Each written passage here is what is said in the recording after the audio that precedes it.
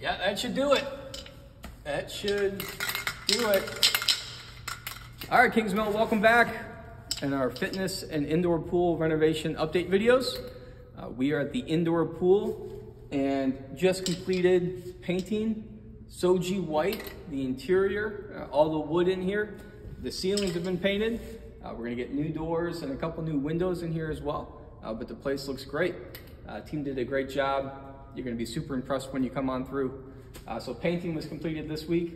Next week, start pool mechanicals and pool tiles uh, are going in, which is super exciting. And let's go take a walk through the rest of the fitness center and show you some updates.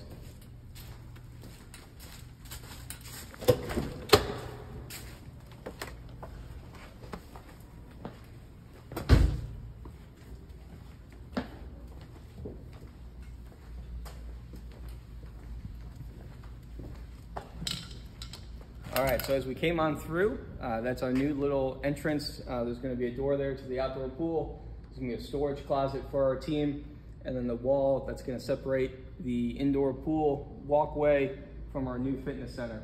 Uh, and inside here at the new fitness center, we've installed a lot of new ductwork uh, for the AC units. Uh, as we go throughout the facility, a lot of that is now up. Last time we talked to you, a lot of it was on the floor, uh, but it's, it's been moved up. Super exciting there. Uh, and then nearly all the framework is now complete. Uh, and as we walk through the framework, we'll start to see the electrical boxes uh, and the framing take, sh take shape uh, throughout the locker rooms and the fitness centers.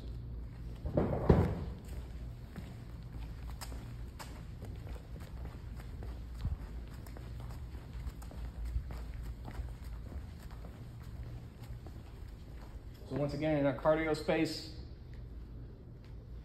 new HVAC units up, ready to go. And then our fitness studio, same story, a lot, a lot of movement there.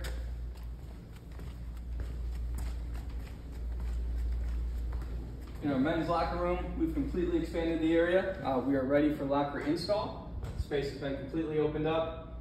The showers have been moved. Uh, all that piping and drain work is now done. Sauna, steam room, hot tub have all been framed and ready to go.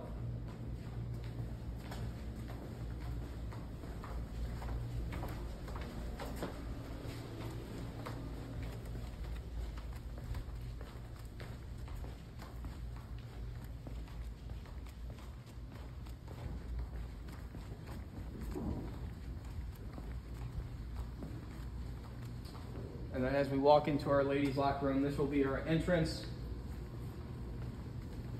We have a new landing station, uh, hand wash sink station that is up and ready to go. Again, all new ductwork ran throughout the facility. And then all the framing is done and ready to go. Talked about the electrical outlines in place and ready to go. And then a little back further, uh, the ladies steam room, sauna, and hot tub are all framed and ready to go. Uh, it's been a great couple weeks. One thing we didn't even mention are all the roofing repairs. If you've seen the guys uh, upstairs on the roof past couple weeks, knocked out a lot of roof repairs. Uh, and we're excited to keep sharing with you, show you the progress, moving along nicely. We'll see you in two more weeks for another update video. Thanks, Kingsmill.